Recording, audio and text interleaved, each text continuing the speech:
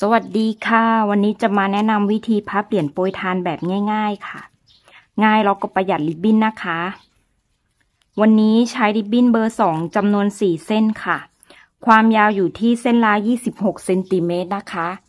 ตัดปลายริบบิ้นทั้งสองด้านให้ได้ลักษณะแบบนี้นะคะ หลังจากนั้นเราจะเรียงทั้งสี่เส้นให้เสมอกันค่ะ แล้ววัดลงไปที่ความยาว8เซนติเมตรครึ่งค่ะ วัดลงไปให้ได้ความยาว8เซนติเมตรครึ่งนะคะ พับลงไปค่ะ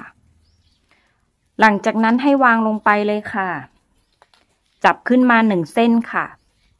ปลายริบบิ้นที่เป็นด้านสั้นเอาไว้ด้านบนเสมอค่ะ เส้นต่อมาค่ะ เส้นที่สองค่ะ เอามาคล้องเส้นที่หนึ่งค่ะ ปลายริบบิ้นที่เป็นด้านสั้นเอาไว้ด้านบนเสมอค่ะ ต่อมาเส้นที่สามค่ะ เอามาคล้องเส้นที่สองค่ะ ปลายริบบิ้นที่เป็นด้านสั้นเอาไว้ด้านบนเสมอนะคะ เส้นต่อมาเส้นที่สี่ค่ะ จับตรงรอยพับสอดมาจากทางซ้ายมือสอดผ่านเส้นที่หนึ่งมาค่ะ ดึงเส้นริบบิ้นเส้นสุดท้ายให้กว้างๆค่ะ กลางออกรวบปลายหางของเส้นที่สามใส่ลงไปค่ะ ขั้นตอนนี้เราจะใส่เหรียญค่ะ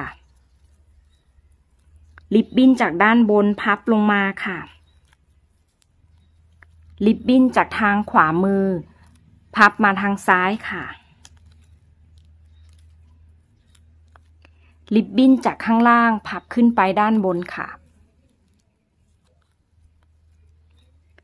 ริบบิ้นจากทางซ้ายสอดผ่านมาทางขวาค่ะ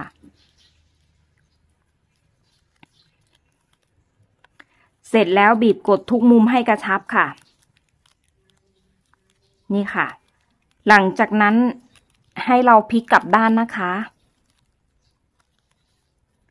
ริบบิ้นจากด้านบนสอดลงมาค่ะ ริบบิ้นจากทางขวามือสอดมาทางซ้ายค่ะ ริบบิ้นจากข้างล่างสอดขึ้นด้านบนค่ะ ริบบิ้นจากทางด้านซ้ายสอดผ่านมาทางด้านขวาค่ะ เสร็จแล้วบีบกดทุกมุมให้กระชับค่ะ หลังจากนั้นให้เราพลิกกลับด้านนะคะ เริ่มจากเส้นสีเหลืองเป็นเส้นแรกค่ะ ให้พับปลายริบบิ้นกลับลงมาค่ะ บิดไปทางขวาค่ะ สอดลงไปที่ฐานตรงเส้นสีเหลืองที่เราทำปลายริบบิ้นชี้ออกมาทางด้านซ้ายดึงออกมาค่ะ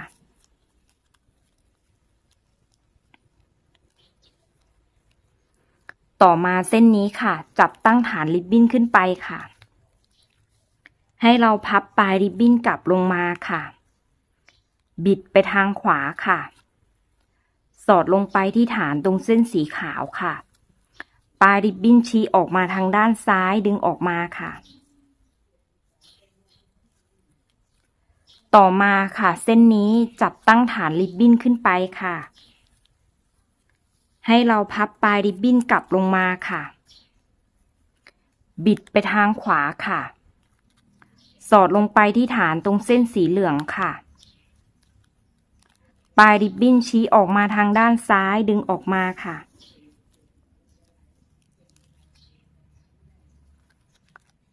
ต่อมาค่ะ เส้นนี้จับตั้งฐานริบบิ้นขึ้นมาค่ะ เอาสีขาวนี้หลบมาค่ะ สีเหลืองนะคะ หลบมา เส้นที่เราทำคือเส้นสีขาว ให้เราพับปลายริบบิ้นกลับลงมาค่ะ บิดไปทางขวาค่ะ สอดลงไปที่ฐานค่ะ ปลายริบบิ้นชี้ออกไปทางด้านซ้ายดึงออกมาค่ะ ได้ครบทั้งหมดสี่เส้นแล้วนะคะ เส้นต่อมาคือเส้นสีขาว เอาเส้นสีเหลืองนี่หลบมาค่ะ เส้นริบบิ้นที่เราทำพาดทะแยงเฉียงลงมาด้านล่างแบบนี้ค่ะ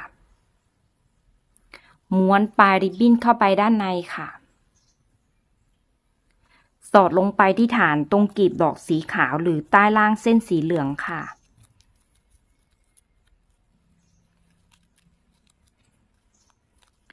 ปลายริบบิ้นทะลุออกมาด้านล่างนี่ค่ะ ดึงออกมาค่ะนี่ค่ะ ค่อยๆดึงออกมาค่ะ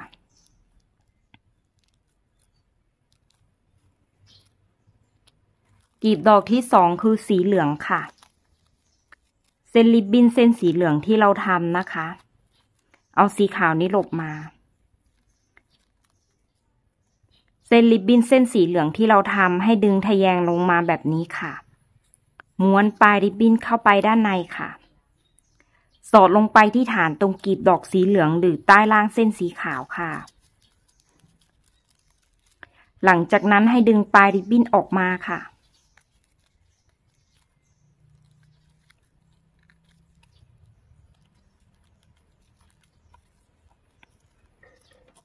เส้นต่อมาค่ะ เส้นสีขาวค่ะ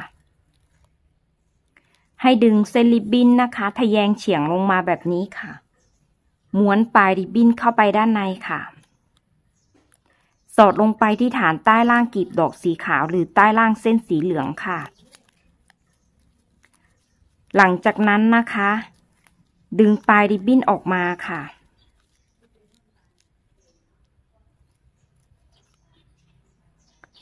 ต่อมาเส้นที่สี่ค่ะ เส้นสุดท้าย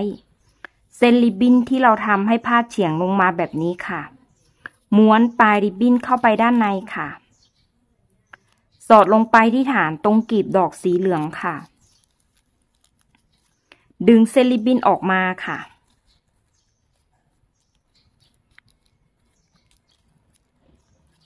เรียบร้อยแล้วนะคะนี่ขั้นตอนต่อมาค่ะ สอดเก็บตามลายเส้นค่ะ พลิกกลับด้านค่ะ ริบบิ้นจากด้านบนสอดลงมาค่ะ ริบบิ้นจากทางขวามือสอดมาทางซ้ายค่ะ ริบบิ้นจากข้างล่างสอดขึ้นไปด้านบนค่ะ ริบบิ้นจากทางซ้ายสอดผ่านมาทางขวาค่ะ เสร็จแล้วบีบกดทุกมุมให้กระชับค่ะ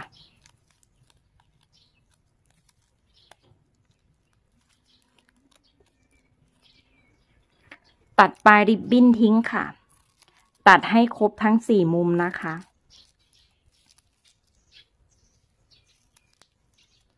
เสร็จแล้วค่ะ ถ้าเพื่อนๆชื่นชอบฝากกดไลค์ กดแชร์ กด Subscribe ด้วยนะคะ สวัสดีค่ะ